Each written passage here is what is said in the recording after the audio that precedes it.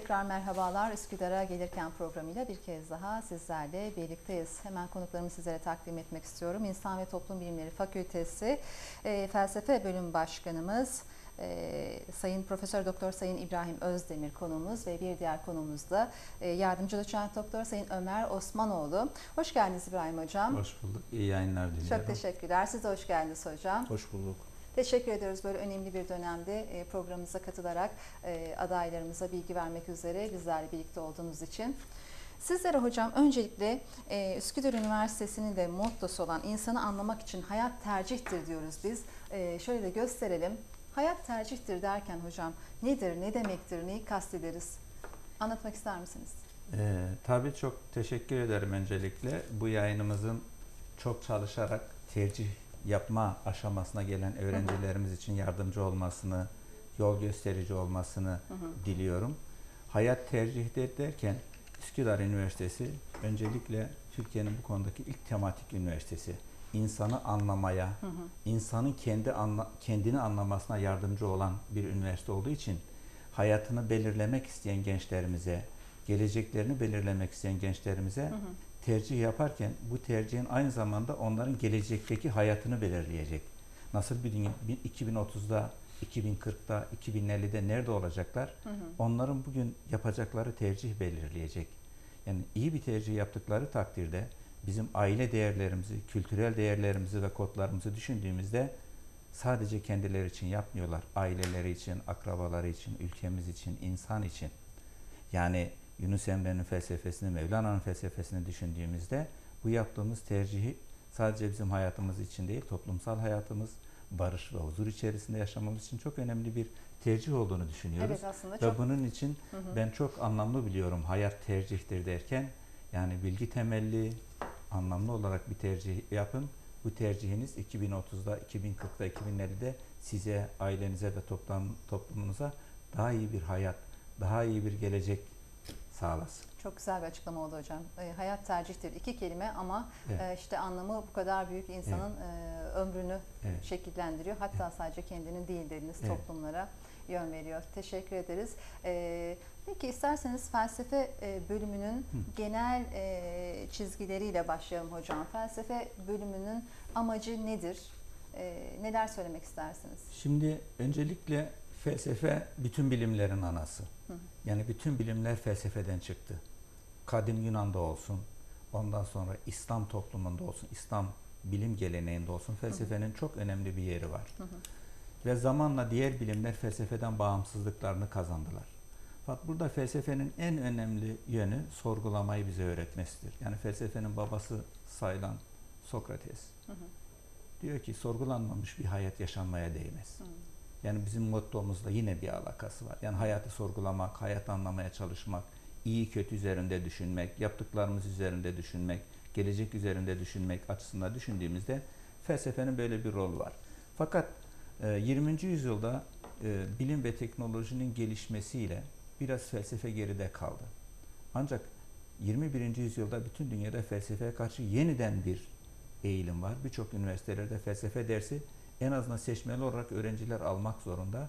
Dünyayı anlamak için, değişimi anlamak için, küreselle, küreselleşmeyi anlamak için, küreselleşmenin bize sunduğu fırsatlar kadar getirdiği tehditleri anlamak için farklı görüşlere, hı eleştirel görüşlere ihtiyacımız var. Hı. Bunu da felsefe sağlayabiliyor. Hı. Ve bugün Türkiye'de vakıf üniversiteleri içerisinde felsefe eğitimi veren, felsefe bölümü olan 7 üniversiteden birisi olmamız bizim için çok önemli. Yani ee, bu tematik bir üniversitemiz olması, evet. diğer öğrencilerimize evet. multidisipliner açıdan evet. Evet. felsefi bir formasyon kazandırması, bakış açısı kazandırması açısından da çok önemli görüyorum. Hı hı. Tam da bu noktada e, sözü Ömer hocamıza e, bırakmak istiyorum. Felsefe bölümü hakkında genel bilgi verdik adaylarımıza. Peki Üsküdar Üniversitesi'nin felsefe bölümünün diğer üniversitelerden belki farkları, e, ayırt edici noktaları nelerdir? Buradaki felsefe bölümüyle ilgili bilgi versek hocam. Tabii ki. Ee, aslında şöyle bak başlamak lazım. Bizim okulumuzda dört tane fakülte var. Bunlardan bir tanesi İnsan ve Toplum Bilimleri Fakültesi. Hı hı hı. Normalde baktığınızda hocamın da dediği gibi yani felsefe bölümüne e, Türkiye'de öteden biri çok fazla ilgi yok. Hani diğer bölümler kadar popüler bir bölüm değil. Çünkü e, insanımız sosyoekonomik efendim e, durumu itibariyle mezun olduğu zaman hemen işte iş eli iş tutsun şeklinde bakıyor genelde e, veliler, ailelerimiz Evet. efendim. E, felsefe bölümü tabii çok şey kazandıracak insana. E, Kendi hayatında, Hı hı. kariyerinde, meslek hayatında kendimizden de örnekler verebiliriz bu anlamda. E, o yüzden felsefe bölümlerine çok fazla itibar edilmez. Türkiye'de de felsefeye bakış maalesef e, çok da olumlu bir noktada değil. Yani Batı'da olduğu kadar, Amerika'da olduğu kadar. Fakat biz bunu aşmaya çalışıyoruz, Hı hı. kırmaya çalışıyoruz. Felsefenin önemini vurgulamaya çalışıyoruz. E, şimdi bizim fakültede, İnsan ve Toplum Fa- Fakültesi'nde açılan ilk bölümlerden bir tanesi felsefe. Aslında bu bizim e, üniversitemizin, rektör hocamızın, Nevzat Tarhan hocamızın aslında ne kadar ileri görüşlü olduğunu Önem gösteriyor. Çünkü gösteriyor, evet. ee, eğer multidisipliner bir şeyden bahsediyorsanız, Hı hı. interdisipliner konuşmanızda bu kelimeler geçiyorsa, hı hı. okulunuzun vizyonunda buna göre belirlemişseniz eğer ya da tematik bir üniversite Evet. e, iddiasındaysanız Evet. felsefe olmadan olmaz. Yani sadece psikolojiyle, nörolojiyle ya da işte siyaset bilimiyle falan olacak iş değil. Çünkü felsefe olmadan bu bilimlerin Hı hı. efendim birbirleri olan temasını kurmanız çok güç. Çünkü felsefenin pozisyonu şudur. Bilimler veri toplar, felsefe onları yorumlar. Hı hı. Geçmişten geleceğe doğru onları yorumlamaya çalışır ve bilimlere de yol gösterir. Bu anlamda felsefe bölümünün bizde kurulmuş olması aslında bizim okulumuzun vizyonunu göstermesi Yani açısından davranış kıymetli. bilimleri ve sağlık alanında Evet. tematik olduğu için. Üsküdar Üniversitesi felsefe bölümünde olması e, zaten çok Bu önemli. bir, bir basiretin, ferasetin Evet. ve ileri görüşünün aslında bir örneği. Hı hı hı. Buradan yola çıkarak bizim e, lafı fazla uzatmadan bizim bölüme, bölümde neler yaptığımızı, nasıl bir bakış açısına sahip olduğumuzu anla- anlatayım. Hı hı. Ee, ilk mezunlarımızı bu sene verdik. Hı hı. Çok onun mutluluğunda hala yaşıyoruz. Ee, ve e, başlangıçta sayımızı, kontenjanımızı dolduramıyorduk. Evet, Ama evet. dördüncü yıl itibariyle yani geçen yıl itibariyle kontenjanımızı yüzde yüz doldurduk ve bu bizi çok mutlu etti. Yani yükselen bir trendimiz var. Bu da aslında okulumuzun, felsefe bölümümüzün, hocalarımızla, efendim müfredatımızla dışarıdaki yansımasını, geri dönüşümünü görmek açısından çok kıymetli. Evet. Dolayısıyla doğru yolda olduğumuzu düşünüyorum ben. Ee, dışarıda da görüyorum yani e, Üsküdar Üniversitesi Felsefe Bölümünden bahsedildiğini bizim dostlarımız söylüyorlar. İşte Hı hı. "Ah hocam biz sizi tanıyoruz, oradasınız siz de falan. Hani yeni bir üniversite, yeni bir bölüm bu yani felsefe bölümü ve bunun dışarıda öğre- bilindiğini, bu anlamda olumlu insanların zihninde olumlu bir yer efendim tuttuğunu görmek beni çok mutlu etti. İşte oranın hocaları çok iyi mesela duyuyorum ve çok mutlu, gurur duyuyorum güzel. bununla. Yani felsefenin hocaları çok iyi. Ekibiniz çok iyiymiş. Zaten bir araştırma da yapıldı. E, bu araştırmanın neticelerinden bir tanesi de Üsküdar Üniversitesi'nin en güçlü yönlerinden bir tanesi akademik kadronun şeyi kalitesi. Yani Kalitesi ve öğrencilerin memnuniyet düzeyi. memnuniyet düzeyi Öğrenciler yani. şimdi çok bilinçli tabii aileler de aynı şekilde yani gelişen teknolojiyle de birlikte e, birçok kanaldan e, üniversiteleri araştırırken tabii birinci madde akademik kadroyu inceliyorlar aslında. Dolayısıyla Üsküdar Üniversitesi bu alanda ön plana çıkıyor. Felsefe de dediğiniz gibi her ne kadar e, dünyada veya Türkiye'deki yeri belli noktada ama Üsküdar Üniversitesi Felsefe bölümünün e, farklı bir pozisyonlaması var davranış bilimleri ve sağlık Kesinlikle. alanında da olduğu için. Peki hocam e, felsefe bölümünün ilgilendiği konuları biraz daha detaylandıralım mı? Çünkü şu aralar adaylarımız e, belki daha detaylı bilgi alma ihtiyacındalar. Belki birkaç bölüm arasında kararsızlık yaşıyor olabilirler. E, felsefe okuyabilecek e, Evet. adayların profilini isterseniz de çizelim hem de. Şimdi burada arkadaşım da e, bize yardımcı olacak. Bizim buradaki vurguladığımız asıl e, şey konu şu. Öğrencilerimiz bunu bilsin.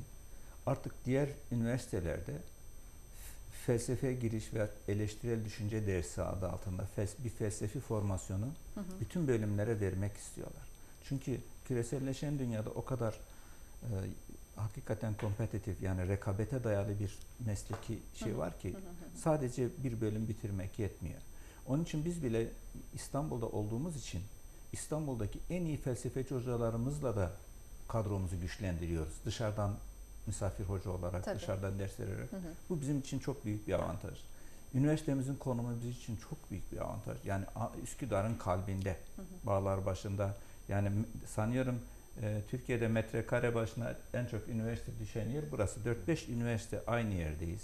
Da çok büyük bir kütüphane hemen yanı başımızda. Hı hı hı. Ha, burada biz klasik felsefenin dışında yeni dersler de koyduk. Mesela eleştirel düşünce dersi, çevre ahlakı, medya etiği, Evet. ondan sonra sanat Şöyle felsefesi, zaman felsefesi. Bunlar seçmeli derslerimiz. Hı hı. Onun yanında felsefe ve Tanrı diye yeni bir dersimizi koyduk. Çünkü bütün dünyada bugün bakıyoruz ki e, temel mesele dinin yanlış anlaşılması, Hı hı. Tanrı'nın yanlış anlaşılması, bazı insanların Tanrı adına başka insanların hayatını karartması, öldürmesi, ondan sonra e, terör eylemlerine başvurması. Onun için sahih ve sağlıklı bir din, din anlayışı, bir Allah anlayışı bir felsefe eğitimiyle ancak mümkün Hı hı. olabilir. Yani eleştirel düşünebilen, neye inandığını, ni- niçin inandığını, nasıl inandığını bilen, din felsefesine bu konuda dediğim gibi vakıf felsefe e, geleneğine vakıf öğrencilerimiz hem kendi öğrencilerimiz hem diğer öğrencilerimiz bence Hı. toplumun geleceği için çok önemli. Hı hı hı hı. Birlikte yaşama kültürümüz için çok önemli. Evet. Mesleki şeye gelince e, zaten e, öğrencilerimiz felsefe bölümünü bitirdiklerinde devlette hem milli eğitimde hem aile ve sosyal politikalar bakanlığında ve çeşitli birimlerde Hı hı. görev alabileceklerini bilebiliyorlar.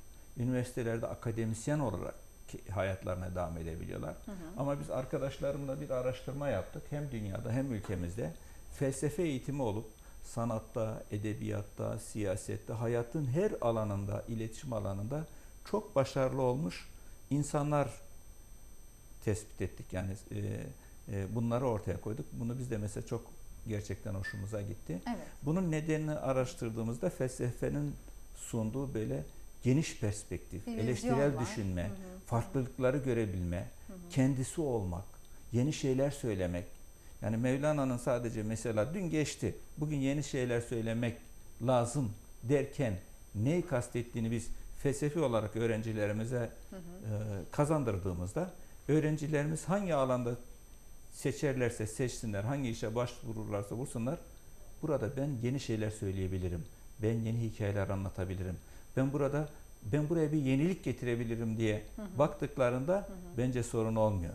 Evet. Ve bizim en büyük şeyimiz müfredatımızın vermeye çalıştığı öğrenciye kendisini keşfetmesini sağlamak, kendi yeteneklerini keşfetmek ve daha sonra sadece devlet kapısına ümidini bağlayan ve oradan bir şey çıkmayınca da hı hı.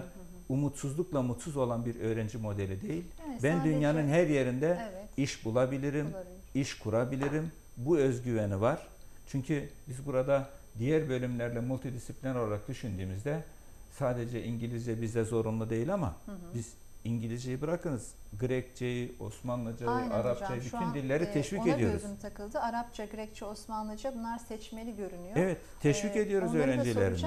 Şunu da eklemek istiyorum hocam. Ee, belirttiğiniz gibi yani farklı e, alanlarda çalışma şansına sahip olabileceği gibi tabii akademisyenlik de düşünebilir Hı hı. e, bu adaylar. E, eğitim ve danışmanlık firmaları görüyorum. Da orada- e, orada daha gel- çok, e, Orada oraya başvurabiliyorlar. Hı hı Şimdi hı. eğitim özel Kendi eğitim başlı başına bir konu oldu yani. var. Özel eğitim baş, özel eğitim kurumlarında danışmanlık olsun, büyük kurumlarda danışmanlık olsun. Hı hı hı. Şimdi artık e, mesela pozitif psikoloji dersimiz var. Hı.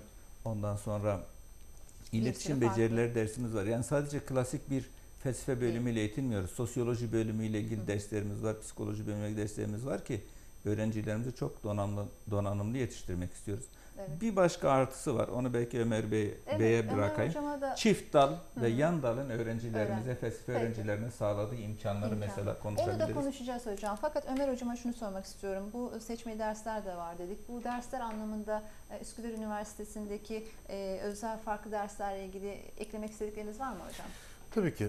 Öncelikle şu önemli. Ee, felsefe yapmanın nasıl, e, fel- felsefenin nasıl yapılacağını biz öğrenciye öğretmeye çalışıyoruz. Hı hı. Yani filozofların, Aristoteles'in, Kant'ın, Hegel'in görüşlerini ezberletmekten ziyade Hı hı. onların bu düşüncenin seyri, yani düşünce serüveni bağlamında nereye oturduğunu, aslında amaçlarının ne olduğunu efendim öğretmeye çalışmak ve onların da felsefe yapmasına katkı sağlamak.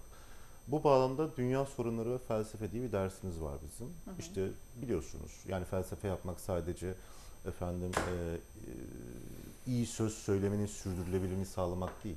Yani söz söylerken sadece çelişmemeyi sağlamak, bir retorik yapmak ya da bir diyalektiği sürdürmek değildir sadece. Onun pratiğe bakan yönü de vardır. Zaten kadim filozoflar, işte felsefenin önemli filozofları hep bu noktaya vurgu yaparlar. Yani bilgelik dediğimiz şeye vurgu yaparlar. Bilgelik de e, neyin bilinmesi gerektiğini bilmek ve neyin yapılması gerektiğini yapmaktır. Bu anlamda felsefenin pratik bir tarafı da var. Dolayısıyla dünyada birçok sorunlar yaşanırken, Türkiye'de birçok sorunlar yaşanırken felsefenin bunlara bigane kalması beklenemez. O yüzden mesela bu derste biz işte çevre sorunları, terör, adalet problemi, özgürlük, demokrasi, işte kadın sorunları, efendim cinsiyetçilik, Gibi. cinsiyetçilik işte Evet. bu gibi Evet, sorunları evet. e, yabancılaşma, ötekileştirme, ayrımcılık yani bunlar da Türkiye ülkemizin önemli sorunlarından bir tanesi. Dolayısıyla filozoflardan yardım alarak acaba geçmiş zamanlarda ortaya konan felsefi birikim günümüzün sorunlarını çözmede bize nasıl yardımcı olabilir? E, Böyle bir dersimiz var. Diğer yandan felsefi danışmanlık diye bir dersimiz var. Hı. Bu Avrupa'da özellikle ve Amerika'da son zamanlarda çok üzerinde hassasiyetle durulan bir konu. Felsefi dördüncü yıl değil mi hocam? Tabii. Az önce bahsettiğiniz dünya sorunları o üçüncü sınıftaydı. Üçüncü sınıfta dünya sorunları felsefe, dördüncü sınıfta da felsefi danışmanlık, felsefi terapi gibi derslerimiz var.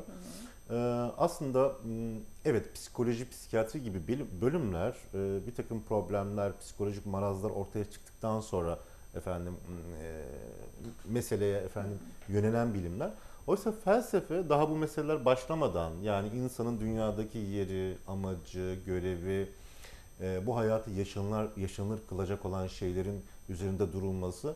Dolayısıyla felsefe bize bunu sağlıyor. Mesela Sokratik yöntem, varoluşçu yöntem efendim ya da stoik işte felsefe bizim stoacılar, epikürcülerin yaklaşımları, yöntem. fenomenoloji. Çoğulcu bir anlayışla. Evet mesela bu felsefedeki bu yaklaşımlar diğer disiplinler tarafından da mesela fenomenolojik yöntem sosyolojide kullanılır. İşte varoluşçu terapi şeyde kullanılır mesela psikiyatride, psikolojide kullanılır. Evet. Dolayısıyla biz de yani insan nedir, dünyadaki yeri nedir, hayat karşısında ve ölüm karşısında nasıl bir tavır takınmalıdır? Bu derste bunları anlatıyoruz. Yani kendimize, düşüncemize, efendim e, varlığımıza, varoluşumuza nasıl sahip çıkabiliriz, dünyada ne yapmalıyız, amacımız ne olmalı? Bu derste daha çok bunları vurgulamaya çalışıyoruz. Peki. İkinci bir farklılığımız, onu da Evet vurgulayayım hocam, lütfen, müsaade edin. Buyurun. Ee, Biz daha çok e, e, felsefede felsefi birikim, o entelektüel bakış açısı çok önemlidir. Yani e, düşüncenin e, düzgün çalışması, denetlenmesi, sürekli o diyalektiğin kurulması, efendime söyleyeyim ve bunların gerçeğe ne kadar tekabül edip etmediği bizde çok önemlidir ve bu yüzden biz öğrencilerimize bol bol kitap okutuyoruz her Evet, alanda evet, evet. ve makale yazdırıyoruz. Evet. Yani kendi düşüncelerini e, düzgün bir şekilde bilimsel e, ölçütler bağlamında aktarabilmeni sağlamak adına mesela bizden bizim e, bölümden mezun olan bir öğrenci bitirdiği zaman 6-7 tane makalesi oluyor. En az 10 sayfalık makalesi oluyor. Bu çok büyük bir değer. Sinema felsefe diye bir dersimiz var ekstra farklılık olarak. Orada da sana, işte sinemanın sanat içindeki konu, e, konumlandırılması, bir filmin felsefi anlamda çözümlenmesi, efendim o derste de mesela 12 tane film izliyoruz dönem boyunca ve bu filmlerle ilgili kritik yazdırıyoruz. Dolayısıyla arkadaşlarımız aslında mezun olduğunda e, hocamın dediği gibi öğretmenlik olabilir, editörlük olabilir, yazarlık olabilir, danışmanlık olabilir, Senarist. sinema eleştirmeni olabilir, senarist olabilir. Mesela benim ben şunu biliyorum birçok önemli kanalda o kanaldaki o dizilerle ilgili yapılan filmlerle ilgili yapılan toplantılarda felsefecileri de davet ediyorlar. Hocam bu şey nasıl? Yani Kesinlikle. e, bu anlamda o felsefecileri Senaryonun danışma olarak istihdam etmeye çalışıyorlar. Bu anlamda mesela ben kendimden örnek vereyim. Bu belki hoş bir şey değil insanın kendini anlatması ama Estağfurullah. ben şu ana kadar mesela 45 tane kitabın editörlüğünü yaptım. Yani e, çünkü bir felsefeci ya, yazmaya, konuşmaya efendim Evet. O me- metne e, İşte felsefe hakim olan kişidir. Okumayı düşünenlerin e, aklındaki sorulardan biri hocam. Bu satır aralarından biri. Ben Evet. felsefe bölümünü okursam e, hangi alanlarda çalışabilirim, Hı hı. neler yapabilirim? İşte e, en güzel örnek e, editörlük. Şimdi buna E, ek- yapabileceği ek- işlerden bir tanesi. Ek olarak mesela bir de realist olalım diyelim. Realizm de bir felsefi eko. Öğrencimizin puanı istediği mesela şu anda psikoloji ve psikiyatri diğer bir bölüme yetmiyor. Hı. Ama felsefeye yetebiliyor. Evet. Şu andaki bizim yüksek öğretim sistemimizdeki sıralama açısından. Hı hı. Biz de felsefeye kaydını yapar. %100 burslu öğrenci olarak, %75 burslu öğrenci olarak ailesine yük olmadan. Bunu özellikle çok dikkat etmeleri gerekir. Kontenjanları da söyleyelim isterseniz hocam yeri gelmişken. Yani e, anladığım kadarıyla felsefeye girip ondan sonra geçiş yapma imkanları İşte onu söylüyorum. Evet, Ha, o zaman şimdi bizim kontenjanımızda yani %100 Evet. ve %75'li burslu okuyup Hı hı. bu arada çift ana dal ve yan dal programlarımızdan Yapabilir. yararlanabilir. Hı. Burada öğrencilerden istirhamım şuna dikkat etsinler. Bu üniversitenin temel felsefesi insanı anlama ve insanı potansiyellerini ortaya çıkarmak olduğu için biz öğrencimize diyoruz ki geleceğini sen kendin belirleyeceksin. Bunun için hayat tercihtir. Sen başta çift dal ve yapmaya karar verdiğin zaman mezun olduğunda hem felsefe hem psikoloji mezunu iki tane diplomayla mezun olabilirsin. Çok önemli bir şey şu anda bahsettiğiniz yani bunu, onun için e, çünkü psikoloji bölümlerine büyük Evet. bir ilgi var. Oraya giremiyorsan, diğer bölümlere giremiyorsan bizim felsefe bölümünde çift e, dal yapabilirsin. Bunun için başta karar vermen lazım. Tercihini baştan yapman lazım. Evet. Not ortalamanı ona göre yükseltmen lazım. Bunu düşürmemen lazım. Yani gelecek odaklı bir öğrenci modeli biz Evet. öngörüyoruz. Yani biz de e, şimdi tabii adaylar aslında belki hayatının tercihini yapacaklar, mesleğini belirleyecekler. Şu an belki bir bölümü araştırıyorlar ama biz Heh. bütün programlarımızda hep şimdiden şunu da söylüyoruz ki e, bir akıllarını bir tarafında kalsın. Bir bölümü okurken belki diğer bölüm size daha cazip gelebilir. Veya hocamın anlattığı gibi belki başlangıçta e, girilemeyebilir. Veya kariyer adımlarında diğer bölümün dersleri ona çok faydalı olabilir. Örneğin az önce bahsettiğiniz bir senaristin e, felsefeye de ihtiyacının olabilmesi Hı hı. gibi, psikolojiye de ihtiyacının olabilmesi gibi. Peki yan dal derslerini de e, almayı şimdiden aklına koymalı. Çünkü ona göre bir not ortalaması da tutturması Evet. gerekecek değil mi? Evet. Ee, Yani hem çift dal hem yan dal konusunda öğrencimiz geldiğinde baştan biz kararını verip bizimle konuşursa hı hı. hiçbir sorun yok. Evet hocam. Yani onun için başka yerde Hı hı. e, ücretli okuyacak veyahut da kazanamayacak bir bekleyecek kesinlikle böyle bir yanlışlık yapmasınlar. Tercihlerini doğru yapsınlar. Hı hı. Ve bizim bölümümüzü tercih edip diğer çift e, psikolojide okuyabilirler. Diğer bölümlerde bizim Yani üniversitemizde bunlara da açık olması açık lazım. dal bu tamamen Tabii öğrencinin başarısına. olmalı. Gerçekten felsefe okuyup bitirecekler var. Hı hı. Dediğiniz gibi belki diğer alanlarla ilgilenenler var. Birden Evet. fazla alanı bitirmek isteyenler var. Şunu da konuşalım mı hocam? Peki şimdi tabii mutlaka satır aralarından çıkıyor ama felsefe bölümünü e, okuyabilecek e, adayların e, profilini çizebilir miyiz? Tabii Kimler ki. daha yatkındır? Çünkü okumaktan bahsettiniz e, vesaire birçok şey var ama bunları isterseniz bir madde madde toplayalım biz. Tabii ki. Şimdi özellikle böyle merak eden e, kişiler daha çok felsefeyi seçer. Hı. Hayret eden, merak eden zaten Platon der felsefe hayretle başlar, merakla başlar. Dolayısıyla araştırmacı böyle kafasında bir sürü sorular olan efendim merak eden işte hem kendisini hem yaşadığı ülkeyi hem çevresini hem dünyayı anlamak isteyen Sıradan biri olmak Efendim? istemeyen. Evet, sı- sıradan yani felsefeciler sıradan insanlar değildir yani sıra dışı insanlardır. Ee, bunu seven, kitap okumayı seven, her alanda e, kendi düşünsel efendim e, birikimini, entelektüel birikimini arttırmak isteyen insanlar daha Hı hı. çok felsefeyi tercih ederler. Hı hı. Ee, biz de bu, bundan hareketle zaten bol bol onların onlara sorular soruyoruz. Yani felsefe dersi sorularla geçer. Çünkü cevapları kesin ve mutlak olarak bulmak her zaman mümkün değildir. Yani hayattaki her şeyin cevabı yoktur. Ee, onlara daha iyi, daha doğru sorular nasıl sorulabilir bunu öğretmeye çalışıyoruz. Dolayısıyla böyle kıpır kıpır efendim okumayı seven, Hı hı. sorgulamayı seven gençler daha çok felsefeye geliyor. E, tabii ki şimdi az önce bahsettik çift dal, e, yan dal gibi meselelerden bahsettik. Hı hı. Hiç bunları düşünmeden doğrudan felsefe bölümü e, seçen öğrencilerimiz de var. Onlar çok tutkular, arzulular. E, Özel bir alan çünkü gerçekten. Özel bir alandır e, felsefe. Gerçekten bilerek, isteyerek, e, tamamen mizacına uygun olduğunu görerek evet, e, ve kariyer e, planına uygun olduğunu görerek e, bitirmek hedefiyle gelen Kesinlikle. öğrenciler var tabii. kesinlikle. Çok Mesela ben ba- batıya bakıyorum işte Amerika'dan, Avrupa'dan e, akademisyen dostlarımız, arkadaşlarımızla konuşuyoruz. Onların söylediği şey şu. Yani batıda mesela hangi bölüm okuyorsun? Felsefe, o hani yani sen sıra dışı bir iş yapıyorsun ve çok hani elit bir iş yapıyorsun. Aristokrat böyle hani hani ben biraz da çok da hani yukarılara da koymak istemiyorum ama herkesin okuyabileceği bir şey de değildir felsefe. Özel insanlar felsefe okur. Şimdi çok fazla bir şey yapıyorum. E, Ama Kendimizi diğer bölümlerin çok mu üstüne koyuyorum bilmiyorum ama Rica ederim. biraz böyle farklı bir e, Tabii. kumaşa sahip olmak Tabii. gerekiyor felsefe Tabii. bölümü için. Zaten burada da e, öğrencilerin bu yaşlarda bu ayrım yapabileceğini düşünüyorum veya işte ailelerin yönlendirme anlamında bu farkları görebildiğini düşünerek e, biz burada aslında altını Hı hı. çizmiş oluyoruz. Şimdi buradaki e, aileler dediniz. Ben tabii yıllardır bu işin içindeyiz. Öğrencilerimiz tercihlerini yaparken e, çevrelerindeki insanlarla konuşuyorlar ve daha çok geçmiş odaklı karar veriyorlar. Bu bazen öğrencilerin aleyhine oluyor. Birçok mesleğin yani artık çok geçiyor. Şu elimizdeki bir cep telefonu 6 ay sonra bizi mutlu etmiyor. Yeni modeli çıkıyor. Hı hı hı hı. Şimdi elektronik dünyası için bu böyle olduğu gibi bizim e, Dünyadaki piyasa da böyle değişiyor. Dünya değişiyor. Her gün yani siyaset değişiyor. Her şey değişiyor. Değişimi nasıl anlayacağız? Şimdi Heraklit'i okumadan değişimi nasıl anlayacaksın? Heraklit ta bundan 2500 yıl önce diyor ki bir nehirde iki defa yıkanman mümkün değil. Yani su aktığı gibi, zaman aktığı gibi her şey akıyor. Bir daha girdiğinde her şey değişmiş oluyor. Şimdi bu küreselleşen dünyada bunu gerçekten daha iyi anlıyoruz. Evet. Siz değişimi anlamadığınız zaman büyük bir iş yeri sahibi olabilirsiniz ama kapanırsınız. Yani siz burada bir üretim yaparken Çin'de ne üretiliyor bunu bilmek zorunda. Dünyadaki şeyleri değişim bilmek zorunda. Kimlere rekabet ettiğinizi bilmek zorundasınız. Biz felsefede öğrencilerimizi böyle küresel düşünmeyi, farklı düşünmeyi, yenilikçi düşünmeyi iyi öğretmeye çalışıyoruz. Yalnız kendi öğrencilerimize değil, bizim üniversitemize bir güzel güzel özelliği de felsefe de, giriş dersi bütün bölüm öğrencileri alması gereken bir ders. Yani üniversite, Üsküdar Üniversitesi'ne gelen bir öğrenci diğer bölümlere de gitse yine bizimle karşılaşacak. Hı, evet. Benimle, Ömer'le, Rabia Hanım'la, diğer hocalarımızla Evet, karşılaşacak.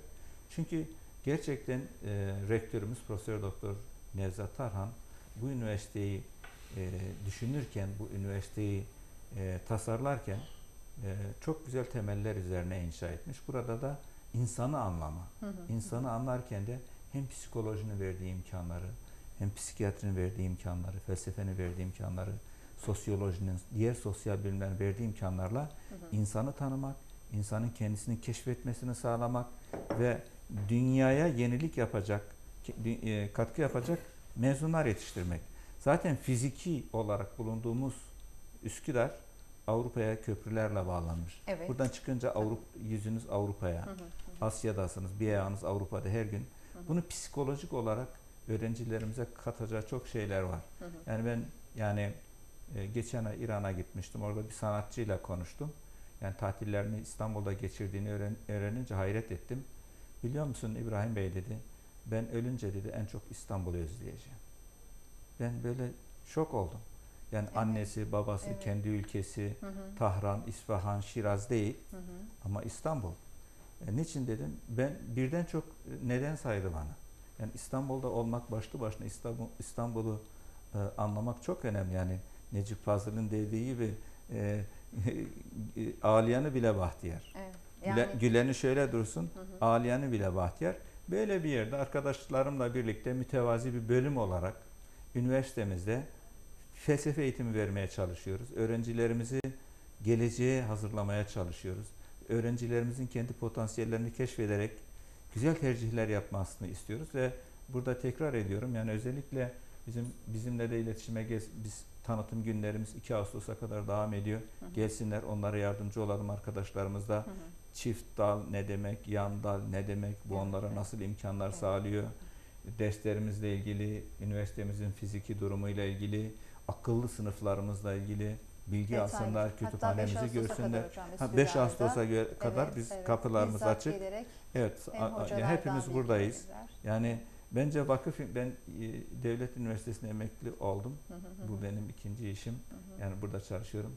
Eskide yaz geldi mi bütün devlet üniversiteleri herkes tatile gider. Ama bakınız biz bütün hepimiz işbirliği halinde buradayız. Üsküdar Bu- ailesi olarak. Tabii Hı hı. yani diğer vakıf üniversitesi, kardeş üniversiteler de öyle. Evet, Bu evet. Türkiye'nin eğitime verdiği Hı hı. destek açısından, gelecek açısından çok önemli. Hepimiz eğitim konusunda Hı hı.